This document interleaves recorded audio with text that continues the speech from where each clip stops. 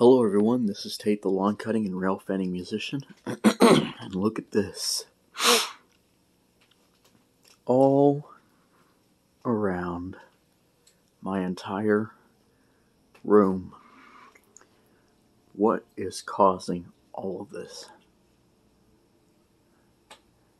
It just so happens to be that. The Monster LED light bar. Let's see how these colors look at night. And we'll do a comparison between the Monster and the Spreact Disco Ball. So this is the Monster. I'm going to go click one of the strobe modes and we get red, green, and blue. and on the walls, that's what it does.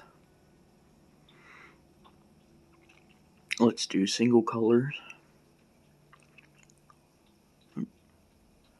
Oh, and yes, the uh, barcode, the uh, infrared reader is actually on the USB, so I have to actually aim the remote exactly just right in order for the infrareds to pick it up. So there's red, green, blue, let's turn it this way, yellow, magenta, cyan, and I have the light standing up on its base because it came with a base that mounts. So yes, it's standing on a base. Let's go through some more colors.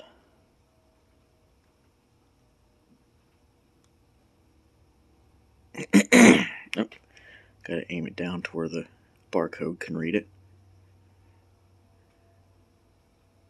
Red, green, blue, yellow, cyan, magenta, red, green, blue, yellow, cyan, magenta. Let's go see what that looks like on the other side. Sorry about that. Here we are, the other side. Yeah, that's how bright that thing is. Alright. well, also, it has different uh, white colors. Let's go ahead and change to blue.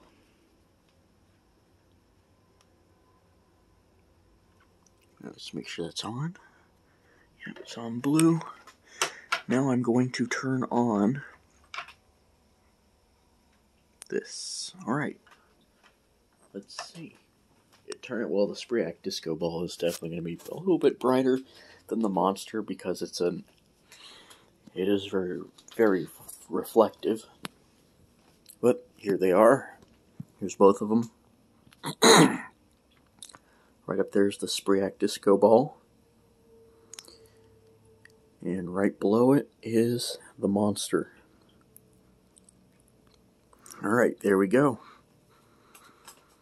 That is the night video of the monster LED light bar.